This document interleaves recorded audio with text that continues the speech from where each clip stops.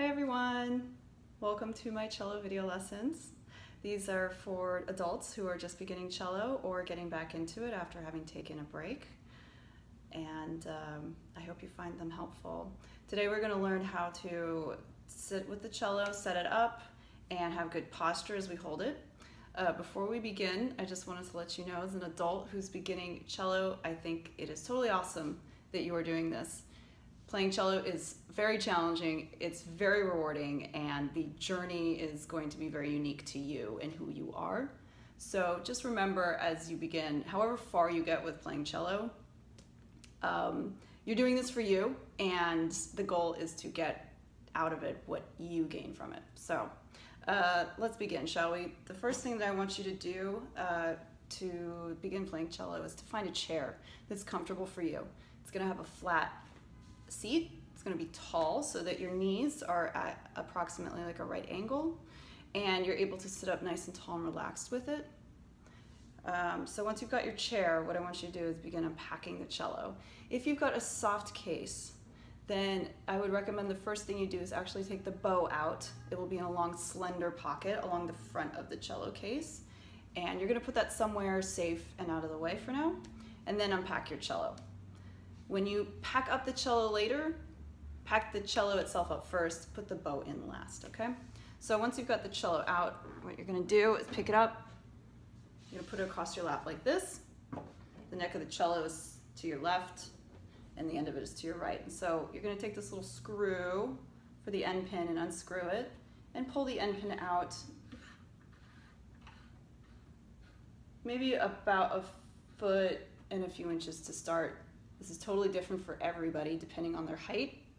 A good rule of thumb I say is to do a hang 10 and do approximately one and a half to two of them. I'm about at one and a half. Let's see if that works for me.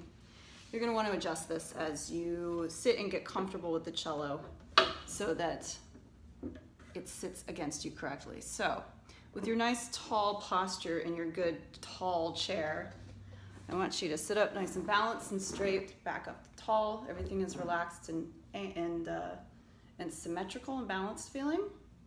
And you're gonna hold the cello up straight out in front of you with your arm extended.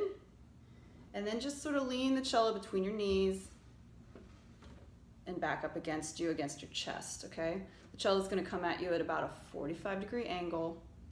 And this peg right here, this lower right peg, is gonna sit right behind your left ear. It's not going to sit uh, ahead of it, like so that the cello is up vertically like this, and it's not gonna sit down so low that it's almost against your shoulder or is touching your shoulder. So just scooch the cello up until you find that comfortable position, 45 degree angle against your chest, peg behind your left ear, okay? So uh, your knees are also going to be around the cello and we'll be touching the side of the cello. I know you can't see it at this angle here, but what I don't want is for your knees to be spread apart so that the cello is not being supported by them. You see, if I, if I let my knees widen, the cello will wobble. You also don't want your knees behind the cello. The knees are coming around the cello. So you're gonna get your legs out a little bit wider than maybe most of us are comfortable with sitting naturally, okay? Uh, the, the knees will go kind of roughly around the widest part of the cello. That would be like right around here. But if your knees come up and touch this part too, that's totally natural. What I don't want is the finger needs to be in here, okay? If that's, if that's the case, then the, the cello is too low. So you have either have to scooch it up, remember, closer to you this way, or bring the end pin out further. Okay.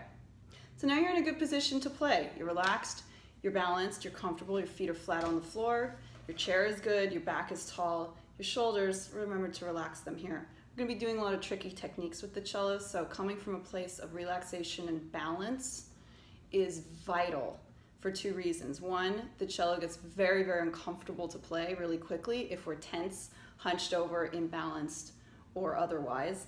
And also, just mentally, being physically tensed is going to affect your ability to concentrate uh, in a kind of calm manner and stay focused on the, uh, the rather tricky things that we'll be learning how to do. So anyway, thanks so much again for checking this out. Uh, check out my next video for um, starting to put our hands to the cello and actually playing it. Uh, I hope you enjoyed. I'll see you next time.